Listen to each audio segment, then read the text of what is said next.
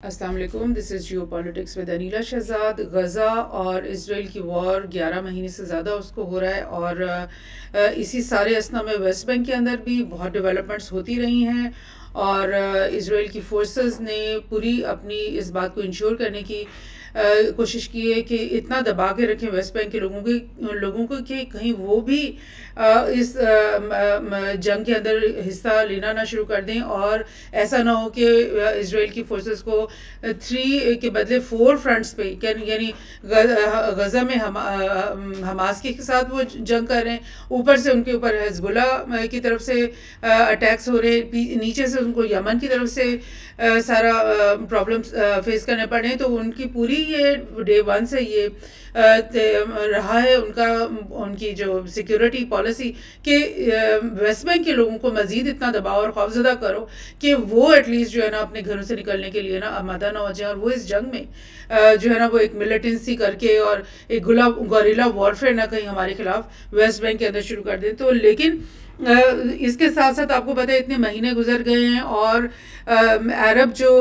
Community है, जितनी भी उनकी तरफ़ से सीज़ फायर की बातें मुस्तकिल चलती रही हैं, बेशुमार मीटिंग्स हो चुकी हैं यूएस और जो बाइडन की तरफ़ से भी ये मैसेजेस आते रहे हैं कि सीज़ फायर होना चाहिए। और अब पिछले तीन चार दिन से वो मुस्तकिल ये कह रहे हैं कि सीज़ फायर बिल्कुल करीब है और अब जो नेक्स्ट मीटिंग होने वाली है, गालिबा जो आज से ही शुरू होनी है, उसमें हम सीज़ फायर की उस पर पहुँचेंगे। बिकॉज़ बाइडन को भी और बाकी तमाम जो दुनिया के बड़े बड़े पावर्स हैं, उनको ये नज़र आ रहा है कि अगर हमने इस वॉर को आगे बढ़ने दिया और ईरान इसके अंदर मतलब एक डायरेक्टली इन्वॉल्व हो गया तो फिर ये एक बहुत बड़ा ग्लोबल वॉर बन जाएगी और बहुत यानी एक यानी वर्ल्ड वॉर थ्री सिनेरियो बन जाएगा और इसमें इस बात का एहतमाल बहुत ज़्यादा हो जाएगा कि कोई ना कोई पावर न्यूक्लियर न्यूक्लियर जो है वो अपना एसेट को यूज़ ना कर ले और अगर एक पावर ने किया तो फिर वो डोमिनो इफ़ेक्ट की तरह शुरू हो जाएगा और मतलब एक बहुत बड़ी तबाही जो है वो हमें इंसानियत की इसमें नज़र आ रही है। सो so, अब ये जितने भी पावर्स हैं उनकी तरफ़ से ये बात आ रही है कि सीज़ फायर को फाइनलाइज कर लिया जाए लेकिन अरब की तरफ़ नेशंस की तरफ़ से आपको याद होगा मैं कवर करती रही कि उनकी ये ज़िद थी इस दफ़ा के इस दफ़ा हम सीज़ फायर उसी वक्त एग्री करेंगे जब हमें टू स्टेट सोल्यूशन का जो है ना वो पाथवे उसका जो रास्ता है वो हम हमें मुतन हो जाएगा और इस बात की श्योरिटी हो जाएगी कि पैलेस्टाइन जो वो एक अलग इंडिपेंडेंट स्टेट बनने वाला है। सो so, इस बात के लिए आपको पता है कि जो फार राइट एक्सट्रीमिस्ट थिंकिंग है इसराइल के लोगों की जो स्पेशली जो फार फार राइट हैं स्पेशली जो जायनिज़म के ऊपर बिलीव करते हैं, जो समझते हैं कि ये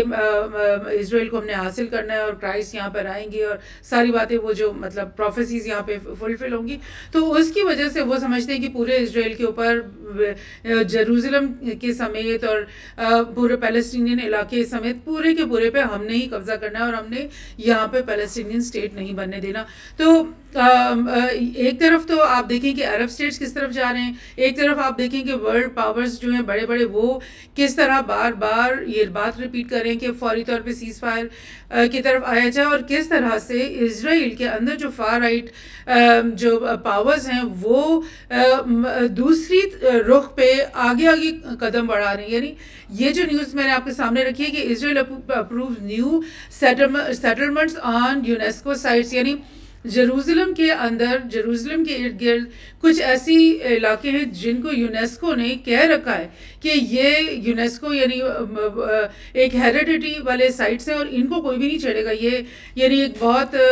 सीक्रेट किस्म के साइट्स हैं या उनकी कोई हिस्टोरिकल इम्पोर्टेंस है जिसकी वजह से उनको कोई नहीं छेड़ेगा। उन साइट्स के ऊपर भी इसराइल ने कह दिया कि अब हमारी सेटलमेंट्स बनने लगी हैं। सो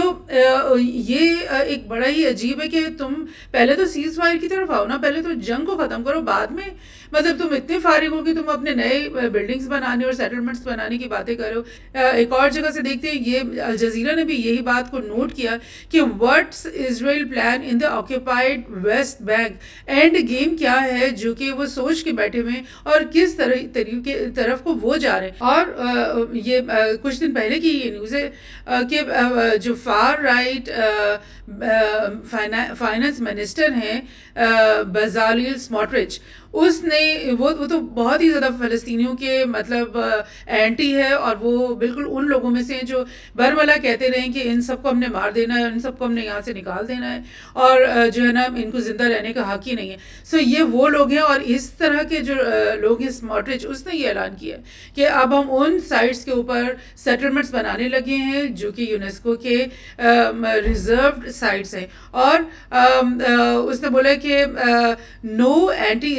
और anti Zionist decision will stop the development of settlements और साथ में उसने ये कहा कि we will continue to fight against the dangerous idea of a Palestinian state this is a mission of my life आप देख रहे हैं कि वो अगर उन्होंने आधा फ़लस्तीन पहले ही तोड़ के ले लिया हुआ है और अब बचा कुचा जो फ़लस्तीन फ़लस्तीनियों के पास रह गया वो उसको भी उनके हवाले करने के लिए तैयार नहीं है, ये वो लोग हैं। और आप सोचें कि किस तरह मुमकिन है कि फ़लस्तीन के लोग किसी भी तरीके से इन, इस तरह की जो थिंकिंग है, उसके साथ कोई भी कॉम्प्रोमाइज़ कर सकेंगे या किसी भी सेटलमेंट पे पहुँच सकेंगे, ये तो बस यही चाहते हैं कि एक एक फ़लस्तीनी यहाँ से ख़त्म हो जाए। और वो उसको या तो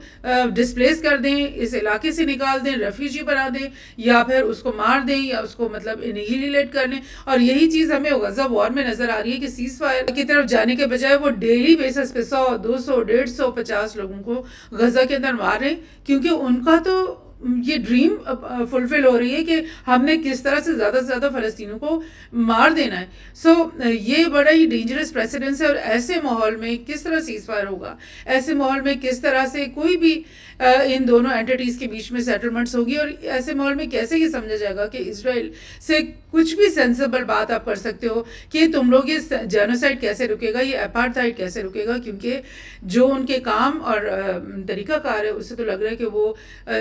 ऐसा मौका ही नहीं छोड़ना, देना चाह रहे जिसमें वो जेनोसाइड ना कर सकें या वो जेन अपार्थाइड इन लोगों के खिलाफ ना कर सकें।